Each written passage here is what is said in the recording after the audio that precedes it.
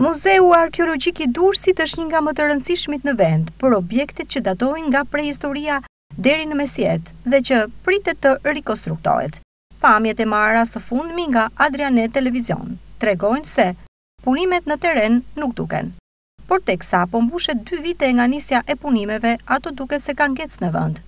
Më njëzet e tetë shtator të vitit dy mijë e njëzet e dy u deklarua nisja e punimeve për restaurimin total të objektit, por punimet jo vetëm që nuk kanë përfunduar, por kanë ngelur pezull. Restaurimi i Muzeut Arkeologjik po realizohet me një fond prej treqind e njëzet e tetë milionë lekë, ose tre pikë dy milionë euro, i financuar nga Bashkimi Europian, zhvilluesi i projektit është Zyra e Kombeve të Bashkuara për zhvillimin e projekteve, e njohur si UNOPS në bashkëpunim me Ministrinë e Kulturës.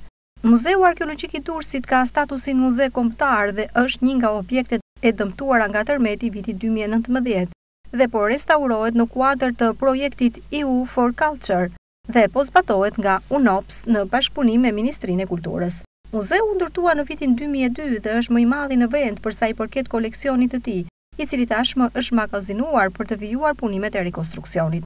Ai përmban mbi tre mijë artefakte të zbuluara në Durrës që dëshmon zhvillimin e qytetit nga antikiteti deri në mesjetë. Pas rekonstruksionit të ndërtesës trekatëshe, muzeu parashikohet të ofrojë përdorimin e teknologjisë dhe të mjeteve multimediale për të njohur më tej historinë dhe trashëgiminë kulturore. Muzeu Arkeologjik i Durrësit iu nënshtrua një restaurimi të mëparshëm në vitet dy mijë e njëmbëdhjetë, dy mijë e trembëdhjetë me një investim gati një milion dollarë nga qeveria shqiptare.